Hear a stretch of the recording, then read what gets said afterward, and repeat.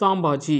சாம்பாஜி அப்படிங்கிறவர் யாருன்னா? சிவாஜியோடைய மகன். இந்த படத்தில் இருக்கார் பார்த்தீங்களா இவர் தான் சாம்பாஜி. இவரை பற்றி பார்க்கலாம். சிவாஜியை தொடர்ந்து அனாஜி தத்தேவுடனான சச்சரவுக்கு பின்னர் சாம்பாஜி வந்து பார்த்தீங்கன்னா ஆட்சி பொறுப்பேற்றிருக்காரு. ஆகவே குடும்ப சண்டைகள் மராத்திய அரசில் வந்து பார்த்தீங்கன்னா சிராய்ப்புகளை வந்து ஏற்படுத்துச்சு. அதாவது என்னென்னா சிவாஜிக்கு அப்புறம் இந்த அனாஜி தத்தோ அப்படிங்கிறவர் வந்து பார்த்தீங்கன்னா நான் தான் அரசர் ஆவேன் அப்படின்னு சொல்லிட்டு ஒரு சர்ச்சையை வந்து பார்த்தீங்கன்னா கிளப்பியிருக்காரு.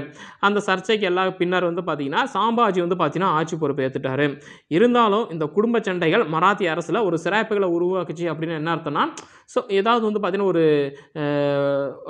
சிராய்ப்பு அப்படின்னு என்ன அர்த்தம்? ஸோ ஒரு சின்ன ஒரு காயம் அப்படின்னு அர்த்தம். இருந்தாலும் எல்லாத்துடைய மனசுலையும் வந்து பார்த்தீங்கன்னா இந்த சச்சரவு வந்து பார்த்தீங்கன்னா ஒரு சின்ன ஒரு காயம் மாதிரி எல்லாத்திட்டையும் இருந்திருக்கு அப்படின்னு வந்து சொல்கிறாங்க அப்புறம் மார்வார் ரத்தோர் குடும்பத்தை சார்ந்த துர்கா தாஸ் வந்து பார்த்தீங்கன்னா அவுரங்கசீப்புக்கு எதிராக கலகம் செய்த அவரது மகன் அக்பர் ஆகியோர் மகாராஷ்டிராவுக்கு வந்தாங்க. அவர்கள் சாம்பாஜியின் அரசவையில் வந்து பார்த்தீங்கன்னா பாதுகாப்பாக தங்க வைக்கப்பட்டனர் அப்படின்னு சொல்லியிருக்காங்க. என்ன அப்படின்னா சாம்பாஜிக்கு வந்து பார்த்தீங்கன்னா கெட்ட நேரம் இதில் தான் ஆரம்பிச்சிருக்கு. குடும்பத்தில் வந்து பார்த்தீங்கன்னா அந்த சண்டைகள் வந்து ஒரு சிராய்ப்பை ஏற்படுத்தி இருந்தாலும் உண்மையான சண்டை இதில் தான் வந்து பார்த்தீங்கன்னா இருக்கு. இவருடைய கெட்ட நேரமே இதுதான் சாம்பாஜிக்கு. என்ன கெட்ட நேரம் அப்படின்னா மார்வார் ரத்தோர் குடும்பத்தை சார்ந்த துர்காதாஸ். இந்த துர்காதாஸ் அப்படிங்கிறவரும் அவுரங்கசீப்போடைய மகன் யார் அப்படின்னா அக்பர். அக்பர் வந்து பார்த்தீங்கன்னா ஒன்றா மகாராஷ்டிரா வந்திருக்காரு. ஏன் அப்படின்னா இந்த அக்பர் அவுரங்கசீப்போடைய மகன் அக்பர் வந்து பார்த்தீங்கன்னா எனக்கு அரியணை வேணும் அப்படின்னு சொல்லிட்டு அவுரங்கசீப் வந்து பார்த்தீங்கன்னா எதிர்த்திருக்காரு. ஏன் அப்படின்னா அவுரங்கசீப் வந்து பார்த்தீங்கன்னா சாகர வரைக்கும் அரசனாகவே இருந்திருக்காரு. இவரும் அக்பர் அப்படிங்கிறவர் வந்து பார்த்தீங்கன்னா ஒரு இளமை பருவத்துக்கு வந்துட்டார் இல்லைங்களா? இவருக்கும் அப்பாவுக்கு அப்புறம் அரசனாகணும் அப்படின்னு ஆசை இருக்கும். ஆனால் அவுரங்கசீப் வந்து பார்த்தீங்கன்னா அவர் அரியணையை விட்டு தரதா கிடையாது. நான் உயிரோடு இருக்க வரைக்கும் நான் தான் அரசன் அப்படின்னு அரியணையில் உட்காந்துருக்காரு அதனால் அக்பர் வந்து பார்த்தீங்கன்னா கலகம் செய்கிறாரு யாரோட சேர்ந்து கலகம் செய்கிறாரு அப்படின்னா இந்த மார்வார் ரத்தோர் குடும்பத்தை சார்ந்த துர்காதாசு கூட வந்து பார்த்தீங்கன்னா சேர்ந்து கலகம் செய்கிறாரு அதனால் எங்கே வந்திருக்காரு அப்படின்னா மகாராஷ்டிராவுக்கு வந்திருக்காங்க.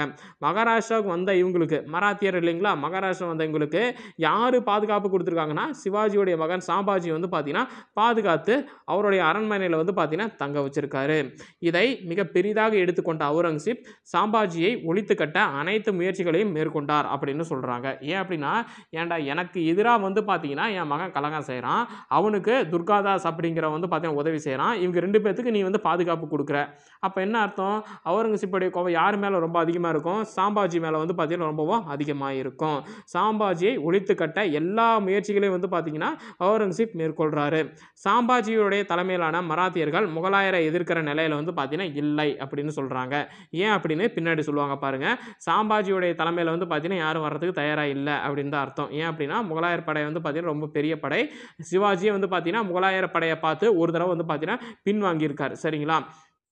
ஆயிரத்தி எட்நூற்றி அறுபத்தி ஒன்றில் அவுரங்கசீப் தானே தக்காணத்தை வந்தடைந்தார். அதாவது பெத்த மகனே வந்து பார்த்தீங்கன்னா எதிராக கிளம்பிட்டார் அப்படிங்கிறதுனால இவராகவே கிளம்பி வந்துட்டார். ஆயிரத்தி எட்நூற்றி அறுபத்தி ஒன்றில் வந்து பார்த்தீங்கன்னா போருக்கு இவராகவே கிளம்பி வந்துட்டார். கிளம்பி வந்து எதை வந்து பிடிக்கிறது இவருடைய நோக்கமாக இருந்ததுன்னா பீஜப்பூரியும் கூழ்கொண்டாவையும் கைப்பற்றி இணைக்கிறது தான் அவுரங்கசீப்போடைய முக்கிய நோக்கமாக இருந்துச்சு. ஆயிரத்தி இரநூத்தி எண்பத்தி ஏழில் அந்த ரெண்டு சுல்தானிகளும் அவுரங்கசீப்கிட்ட வந்து பார்த்தீங்கன்னா வீழ்ந்தன அப்படின்னு வந்து சொல்லியிருக்காங்க. ஒரு வருடத்திற்கும் சற்றே அதிகமான காலப்பகுதியில் சாம்பாஜி கை ப- கைப்பற்றப்பட்டு சித்திரவதைக்கு உள்ளாக்கப்பட்டு கொல்லப்பட்டார் அப்படின்னு சொல்கிறாங்க ஒரு வருடத்திற்கும் சற்றே அதிகமான காலப்பகுதியில் அப்படின்னா என்னென்னா ஒரு வருடம் மூணு மாதம் இல்லை ரெண்டு மாதம் நாலு மாதம் இந்த மாதிரி இருக்கலாம். ரெண்டு வருஷத்துக்குள்ளே வந்து பார்த்தீங்கன்னா சாம்பாஜி கைப்பற்றப்பட்டு சித்திரவதைக்கு உள்ளாகி செத்துருக்கார். ஏன் அப்படின்னா நார்மலாக வந்து பார்த்தீங்கன்னா ஒரு அரசர் இன்னொரு அரசர் மேலே படையெடுத்து போனாங்கன்னா போரில் வந்து பார்த்தீங்கன்னா கொன்றுவாங்க. நீ எனக்கு எதிராக வந்து சதி செஞ்சவங்களுக்கு பாதுகாப்பு கொடுக்குறிய அப்படின்னு சொல்லிட்டு வெறி தீர சித்திரவதை செஞ்சு சாம்பாஜியை வந்து கொண்டிருக்காரு அவுரங்கசீப். அதுக்கப்புறம் வந்து பார்த்தீங்கன்னா ஒரு டீட்டெயில் வந்து கொடுத்துருக்காங்க பாருங்க என்ன நடந்தது அப்படின்னு சொல்லிவிட்டு ஏன் வந்து சாம்பாஜியுடைய தலைமையில் மராத்தியர்களை மலா மராத்தியர்கள் முகலாயரை எதிர்க்கிற நிலையில் இல்லை அப்படின்னு வந்து பாருங்க. சாம்பாஜி தம்முடைய குடும்ப அர்ச்சகரான கவி கலாஷ் என்பவரின் ஒழுக்கக்கேடான செல்வாக்கிற்கு ஆட்பட்டிருந்தார் அப்படின்னு சொல்கிறாங்க ஏன் அப்படின்னா இப்போ சிவாஜி அப்படின்னா வந்து பார்த்தீங்கன்னா அவராக சுயமாக சிந்திச்சு முடிவெடுப்பார் ஒவ்வொரு விஷயத்தையும். இவர் என்ன பண்ணியிருக்காரு அப்படின்னா சாம்பாஜி அவருடைய குடும்ப அர்ச்சகரான கவி கலாஷ் என்பவரின் ஒழுக்கக்கேடான செல்வாக்கிற்கு ஆட்பட்டிருந்தார். அதாவது அவர் சொன்னார்னா தலையாட்டிக்கிறது. இந்த மாதிரியான ஒரு செல்வாக்குக்கு. சிவாஜி ஆக்ராவிலிருந்து தப்பிய போது வாரணாசியில் கவி கலாஷ் சாம்பாஜியின் பாதுகாவலராக இருந்தார்னு சொல்கிறாங்க சிவாஜி வந்து பார்த்தீங்கன்னா ஒரு தடவை முகலாயர்கள் கிட்ட வந்து பார்த்தீங்கன்னா மாட்டிக்கிறார். அந்த ராஜா ஜெய் ஜெய்சிங் இருக்கார் பார்த்தீங்களா அவருடைய வழிகாட்டுதலின்படி சிவாஜி வந்து பார்த்தீங்கன்னா ஆக்ராவுக்கு போனார். ஆனால் போன இடத்துல சிவாஜி அவமானப்படுத்தப்பட்டு சிறை வைக்கப்பட்டார். அங்கிருந்து சிவாஜி வந்து பார்த்தீங்கன்னா ஒரு பழக்கூடையில் வந்து தப்பித்தார் அப்படின்னு சொல்லி நம்ம படித்தோம் சரிங்களா?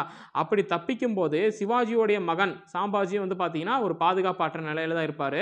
அப்போது சாம்பாஜி வந்து பார்த்தீங்கன்னா யாருடைய பாதுகாப்பு பாதுகாப்பில் இருந்திருக்காருன்னா வாரணாசியில் இந்த கவி கலாஷ் அப்படிங்கிறவர் இருக்கார் பார்த்தீங்கன்னா குடும்ப அர்ச்சகர். அவருடைய பாதுகாப்பில் தான் சாம்பாஜி சாம்பாஜி வந்து பார்த்தீங்கன்னா இருந்திருக்காரு. ஒருத்தருடைய பாதுகாப்பில் இருக்கிறது அப்படின்னு சொல்லுவாங்கல்ல நான் தான் அவனை பாதுகாத்தேன் நான் தான் அவனை பாதுகாத்தேன் அப்படின்னு சொல்லி சொல்லியே வந்து பார்த்தீங்கன்னா அவங்கள வந்து ஒவ்வொரு விஷயத்திலும் அடக்குவாங்கல்ல. அந்த மாதிரி இந்த கவி கலாஷ் அப்படின்ற இந்த அர்ச்சகர் வந்து பார்த்தீங்கன்னா சாம்பாஜியை வந்து பார்த்தீங்கன்னா அடக்கியிருக்கார். அதுதான் இந்த ஒழுக்கக்கேடான செல்வாக்கிற்கு ஆர்ப்பட்டிருந்தார் அப்படின்னு வந்து சொல்லியிருக்காங்க. அதுக்கப்புறமா சாம்பாஜியை பத்திரமா ரெய்காருக்கு அழைத்து வந்திருக்காரு இந்த கவி கலாஷ் அப்படிங்கிறவர். எல்லா விஷயங்களுக்கும் சாம்பாஜி இந்த கவிகலாஷ் அப்படிங்கிறவருடைய வழிகாட்டுதலை எதிர்பார்த்ததுனால அரச சபையில் அவருடைய முழுமையான மேலாதிக்கம் நிறுவச்சு. யாருடைய மேலாதிக்கம்? எல்லா விஷயத்துக்கும் இவர்கிட்ட கேட்டுட்டு தான் தலையாட்டுறது சாம்பாஜி. இந்த கவிகலாஷ்கிட்ட கேட்டுட்டு தான் தாம்பா தலையாட்டுறது. அதனால் அரச சபையில் இந்த குடும்ப அர்ச்சகரான கவிகலாஷுடைய முழுமையான மேலாதிக்கம் நிலவச்சு அப்படின்னு சொல்கிறாங்க கவி கலாஷ் புகழ்பெற்ற அறிஞரும் கவிஞரும் ஆவார். இவர் வந்து பார்த்தீங்கன்னா ஒரு நல்ல பேர். இவர் வந்து பார்த்தீங்கன்னா ஒரு புகழ்பெற்ற ஒரு அறிஞர் கவிஞர். ஆனால் இந்த கவி கலாஷ் அப்படிங்கிறவர் மாந்திரிக செய்கிறவராகவும் இருந்திருக்கார். சரிங்களா? மாந்திரிகம் அப்படின்னா என்ன?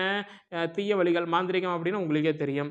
இதனால் அரசவையில் இருந்த வைதீக இந்துக்கள் அவர் மீது ஆழமான வெறுப்பை கொண்டிருந்தனர். இந்த மாந்திரிக செய்கிறவங்களும் எப்படி இருப்பாங்க? அவங்களுடைய உடைகள் எல்லாமே வந்து பார்த்தீங்கன்னா ஒரு மாதிரி வில்லத்தனமான மந்திரவாதி மாதிரி இருக்கும். அதனால் இந்த வைதீக இந்துக்கள் தெய்வங்களை வந்து வழிபடுற அந்த நல்ல இந்துக்கள் இருப்பாங்க பார்த்தீங்கன்னா பார்த்தீங்களா? நல்ல சக்திகள் வந்து வழிபடுறவங்க. அந்த வைதிக இந்துக்கள் இந்த கவி கலாஷ் மேலே வந்து பார்த்தீங்கன்னா ஒரு விருப்பம் வந்து வச்சுருந்தாங்க. முகலாய படைகள் சாம்பாஜியை கைது செய்த போது இந்த கவி கலாஷும் உடன் இருந்தார் சரிங்களா? ஏன்னா இவர் தான் பாதுகாப்ப பாதுகாப்பாளராச்சே. எது செஞ்சாலும் இவர் சொல்கிறதுக்கு தலையாட்டிக்கிட்டு தான் இருப்பார். சரிங்களா? இவர் என்ன சொல்கிறார் அதுக்கு தலையாட்டுவார் இல்லைங்களா? அப்போது சாம்பாஜியை பிடிக்கும்போது கவி கலாஷ் அப்படிங்கிறவர் ஒரு பாதுகாவலர் இல்லைங்களா? அவரையும் சேர்த்து பிடிச்சிட்டாங்க. ஆகவே இருவரும் அவுரங்கசீப்போடைய கட்டளையின்படி அனைத்து வகைப்பட்ட சித்திரவதைகளுக்கும் உள்ளாக்கப்பட்டு சாம்பாஜியும் கவி கலாஷும் வந்து பார்த்தீங்கன்னா கொல்லப்பட்டுட்டாங்க. ஏன் அப்படின்னா உடல் வந்து பார்த்தீங்கன்னா சாம்பாஜியாக இருக்கலாம். ஆனால் அந்த மண்டை அறிவு வந்து பார்த்தீங்கன்னா இந்த கவி கலாஷாக இருந்திருக்காரு. இவர் என்ன ஆலோசனை சொல்கிறாரோ அதுக்கு ஏற்ற மாதிரி தான் சாம்பாஜி வந்து பார்த்தீங்கன்னா தலையாட்டியிருக்கார். அதனால் வந்து பார்த்தீங்கன்னா அறிவையும் உடலையும் ரெண்டு பேரையும் சேர்த்தே வந்து பார்த்தீங்கன்னா சித்திரவதை பண்ணி அவுரங்கசீப் வந்து பார்த்தீங்கன்னா கொண்டு இருக்காரு சரிங்களா? இதுதான் சாம்பாஜி பற்றின தகவல்கள்.